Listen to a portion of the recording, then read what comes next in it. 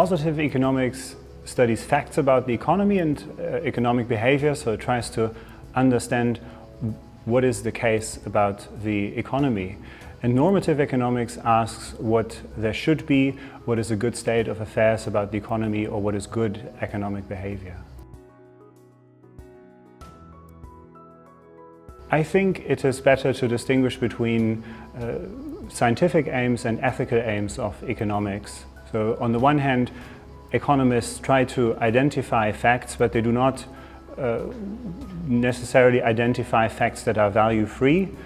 On the other hand, economists also have ethical aims, so they try to tell us what are good or bad states of affairs about the economy, but these also rest on the identification of facts. And I think that's a more helpful way to think about this than to really strictly separate between positive and normative economics. Absolutely, yes. Economic theory has a wonderful array of powerful tools to characterize human behavior and characterize uh, states of affairs of the economy. And on the basis of that, it absolutely can tell us how to behave. The question is, to what extent should we listen to these recommendations?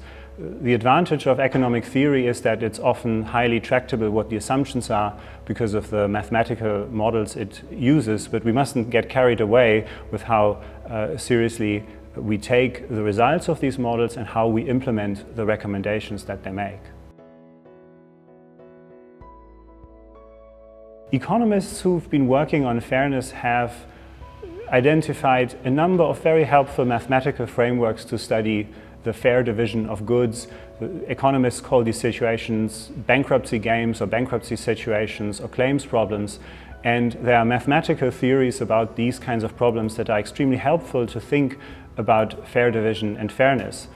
Philosophers, on the other hand, have been asking very helpful normative questions about uh, fairness and uh, should maybe do more work to engage with what economists have said about fair division.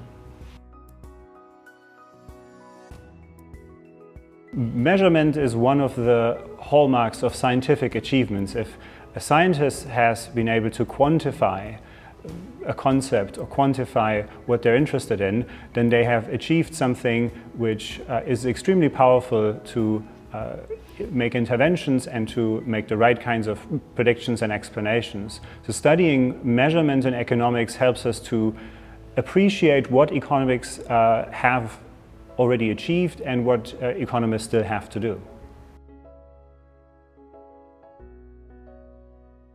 I think philosophy and economics have started out as a set of quite similar concerns and questions and I think what we are seeing in, in recent times is that more people in philosophy and economics ask uh, similar questions. Again, I think that's a very positive development to be working together between the different disciplines.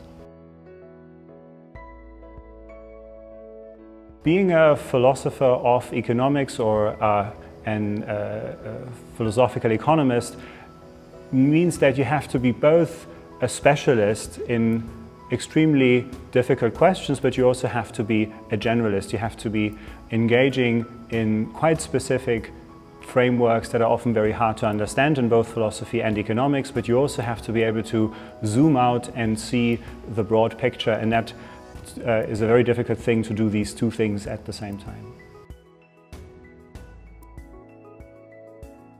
I think the main philosophical influence for myself has been Amartya Sen because he's been a philosopher and an economist at the same time.